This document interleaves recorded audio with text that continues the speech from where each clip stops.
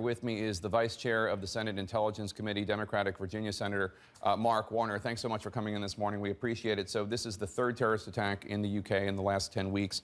Uh, they've claimed the lives of 34 innocent victims. What can you tell us? What do we know about the perpetrators of, of last night's attack? And is there any risk to Americans right now beyond the normal risk? I received a brief this morning from our National Center, Counterterrorism Center, and basically they have pretty much the same information you've gotten open source.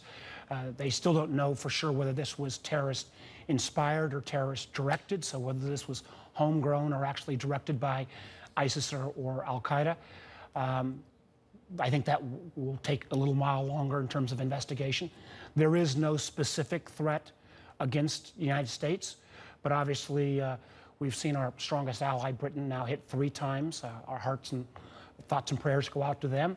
Uh, but I think what you're seeing in Britain is a resoluteness, but also a recognition that as the British, who went through three decades of IRA-related terrorism, they will carry on. And uh, I think in many ways, uh, that's what we need to do here in our country as well. The British Prime Minister, Theresa May, said there's far too much tolerance for extremism in the UK.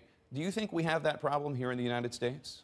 I think we don't have it the same way as the UK, but uh, it is a, obviously a challenge in modern society to maintain free societies and freedom of speech, but still recognize that we have to be on guard against some of the hateful venom that is oftentimes spewed over the internet. Why do you think it is that we see these attacks in London, uh, but we have not, knock on wood, seen such a thing happen here in the United States? I believe in many ways the uh, Muslim American community is better integrated into our society. There, I think that's always been our secret sauce in America, that you can come here first generation, and if you accept our laws and rules, become American.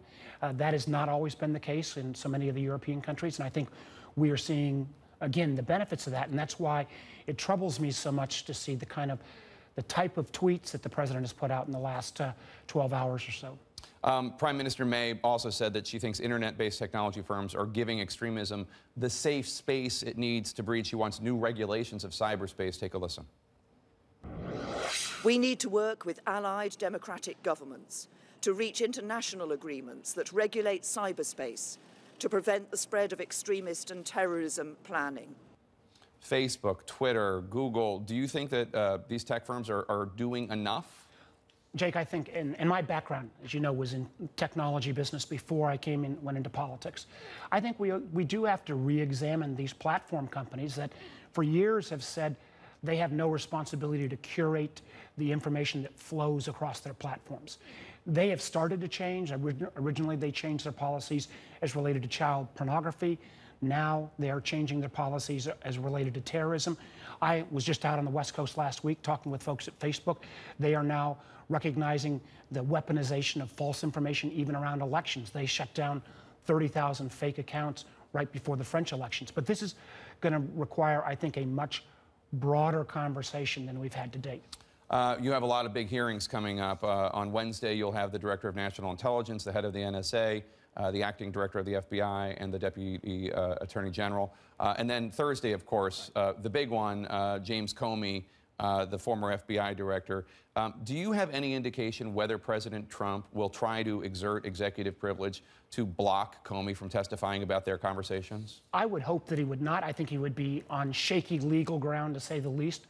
Director Comey was fired by the president, and you have the president himself making derogatory comments, in effect, uh, at least reported to the press, calling Comey a nut job in front of the Republicans, totally inappropriate.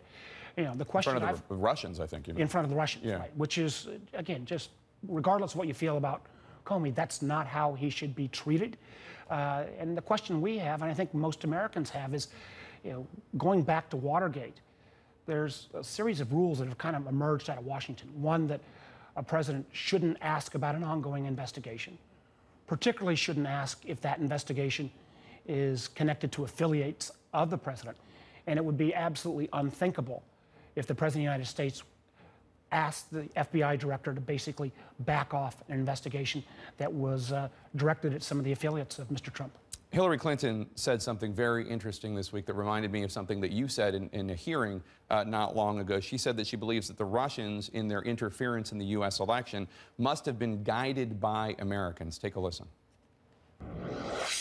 The Russians, in my opinion, and based on the intel and counter intel people I've talked to, could not have known how best to weaponize that information unless they had been guided. And here's a here's Guided one- by Americans. guided by Americans and guided by people who had, you know, polling and data Who is that? information. Is that true? Do you agree? This is one of the questions we have to sort through. Again, one of the questions I was asking when I was out on the West Coast. It does seem strange. It appears that Russian paid internet trolls who created bots were then able to put forward fake news, selected stories in a way that seemed targeted. Now, Targeted at certain states? targeted at certain states, at certain demographics. We don't have full proof of that. So uh, I'm not where Secretary Clinton is in terms of jumping to a conclusion. But this is one of the many questions that we need to investigate. One of the big questions, of course, is is there any evidence of collusion that you have seen yet? Is there? Listen, there is a lot of smoke.